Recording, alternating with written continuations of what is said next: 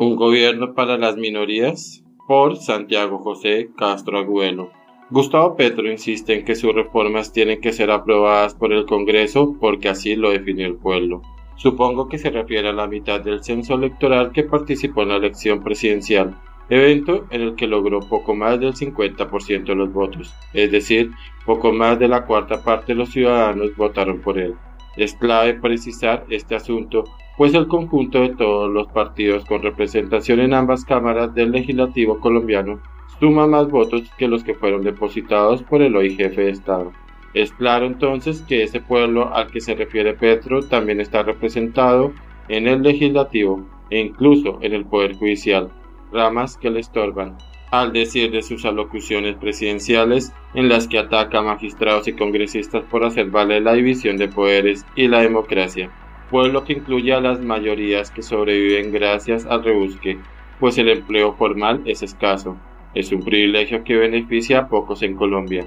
Pueblo que asume cada dos años mayores cargas tributarias para sostener a un Estado que promete lo que no puede garantizar y que siempre sufre la triste socialización de las pérdidas y la privatización de las ganancias. Colegios y universidades deben garantizar el estudio de la Constitución y la instrucción cívica Así lo establece el artículo 41 de la Carta Política.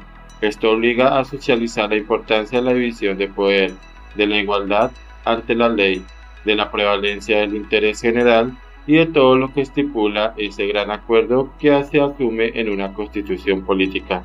¿Cómo orientar una reflexión sobre la legitimidad electoral del Congreso cuando el jefe de Estado alega que el único poder popular es el suyo? Cómo exponer la importancia de la propiedad cuando un presidente habla de expropiar, cómo poner sobre la mesa los deberes que incluyen cumplir con el ordenamiento jurídico colombiano cuando desde el gobierno se sugieren transferencias de dinero a los delincuentes a cambio de que reduzcan su accionar. Petro debe moderar su lenguaje y respetar la constitución política en Colombia.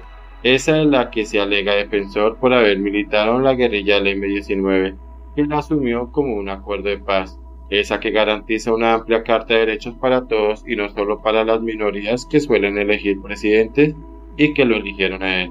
Colombia tiene que poner fin a la confrontación violenta y eso no se logra gritando vivas a la primera línea y vivas a la revolución, añorando además a la Unión Soviética desde el balcón del Palacio de Nariño.